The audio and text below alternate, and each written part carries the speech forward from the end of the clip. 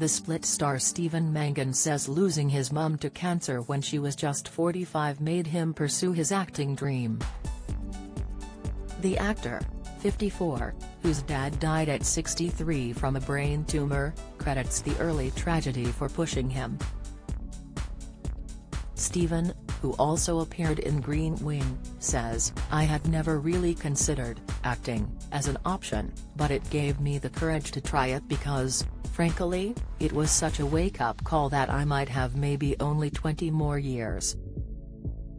And he admits he was so worried about dying young after his parents passed away that he visited a geneticist to see whether he was at a higher risk of cancer. He says, it had a huge impact on me. You start to think, is that something in our family? Is that going to be my story? What's going to happen to me?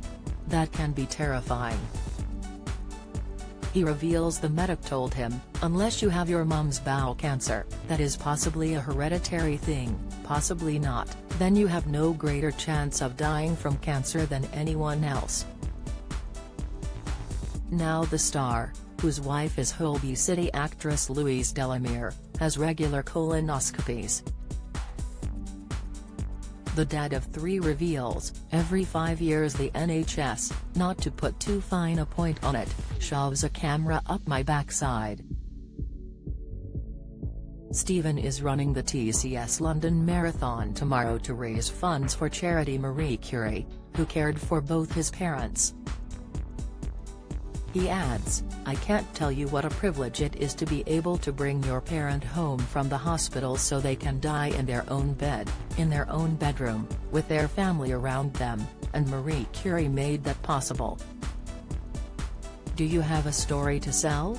Get in touch with us at webcelebs at mirror